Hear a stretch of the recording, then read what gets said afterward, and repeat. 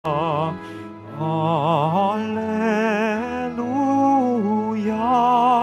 Hallelujah.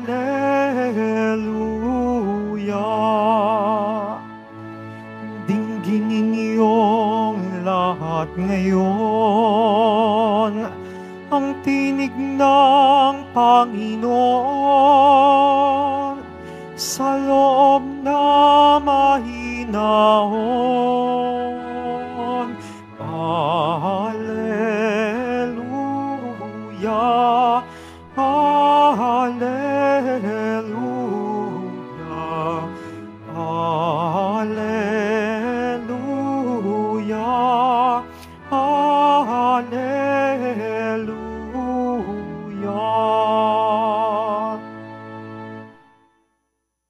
Sumainyo ang Panginoon, at sumayo rin. ang mabuting balita ng Panginoon ayon kay San Mateo.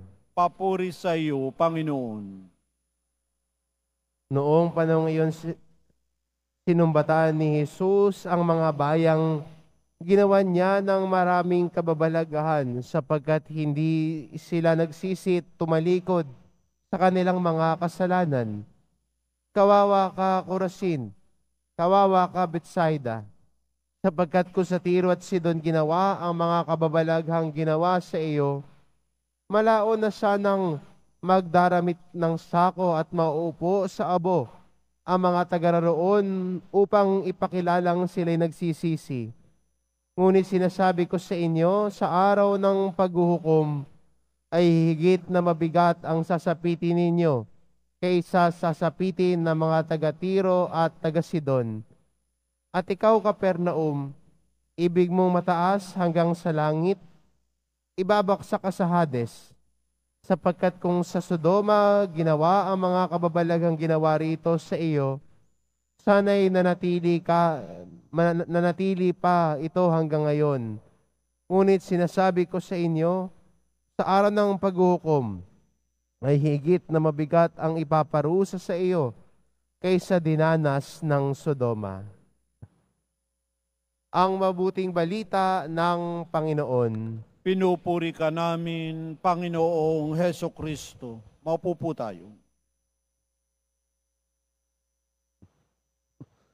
Sa ebanghelyo natin, narinig natin ang ibang tinig, ay ibang tono ni Jesus.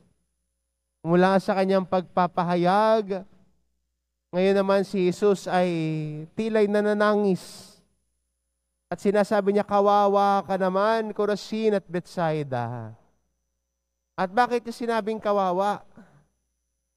Dahil sa lahat ng ginawa sa kanila, sa lahat ng kababalaghan nakita nila, sa pagkita nila sa kabutihan ng Diyos, hindi lang sa salita, kundi sa, sa mga gawang nakita nila, hindi pa rin sila nan- naniwala at nanalig sa Kanya. At itong paalala ng Diyos sa kanila na sana yung tao na nakita ng kabutihan ng Diyos ay mas maniwala ang tao nakakinig sa salita ng Diyos ay mas ma- ay lumago sa pananampalataya at sumampalataya sa kanyang pinakikinggan. Insa magandang itanong, ano ba yung umahad lang sa atin sa ating pananampalataya sa Diyos? Ano ba yung umahad lang sa atin sa pagiging bukas sa tinig ng Diyos? Alam niyo kung ano? minsan yung pagmamataas din natin. Na iniisip natin, alam ko na yan, narinig ko na yan. Kaya pag gano'n na yung iniisip, hindi na siya, na maki, hindi na siya makikinig. Iniisip niya, ay narinig ko na yan eh. Ah, ganito lang yan. Oh. Hindi na makikinig yan. Narinig ko na yan eh. Hindi na makikinig yan. Pero maganda rin paalala sa atin bilang Kristiyano, na sa ating paglalakbay at paglago sa pananampalataya ay ang kakumbabaan natin na handa tayong makinig sa tinig ng Diyos. Handa tayong ma- matuto lagi sa kanyang buhay na salita. Dahil ang salita ng Diyos, bagamat lagi natin naririnig, ay may bagong mensahe lagi ito para sa atin. Laging may bagong mensahe, may bagong aral na mapupulot kahit paulit-ulit natin binabasa ito.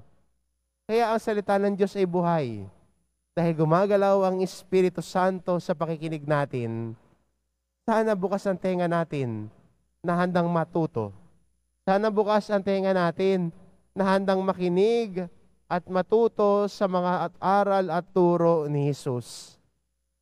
Sana may isang tabi na natin yung balakid natin sa pakikinig.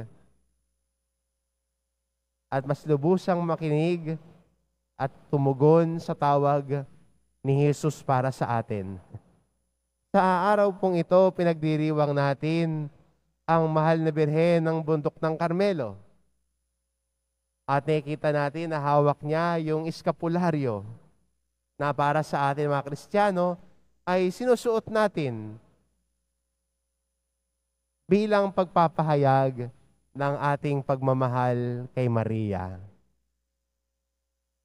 Sinusuot natin ang eskapularyo hindi dahil lamang na ito'y magbibigay sa atin ng biyayang espiritual na maglalayo sa atin sa kasamaan, pero higit sa lahat, na sinusuot natin bilang mga Kristiyano ang skapularyo dahil may mahalagang puwang sa ating puso si Maria.